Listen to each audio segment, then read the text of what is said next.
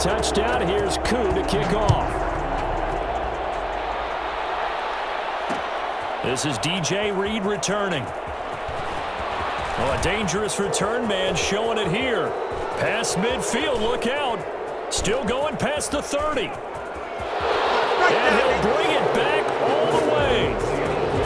sir, that touchdown puts him in striking distance. And let me tell you something, forget being conservative here. Go for it. Go for two. Well, going for it on the road. Want to win it right now. Want to win it right now. Have the momentum. Go ahead and get it done.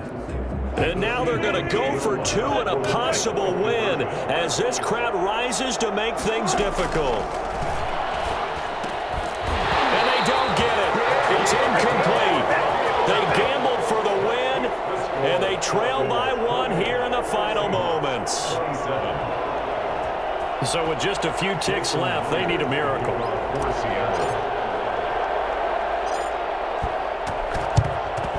And this is going to be coming up by the Falcons. And that should just about seal it. Well, fourth quarter, they felt like they needed the football back. Unfortunately, they couldn't get it.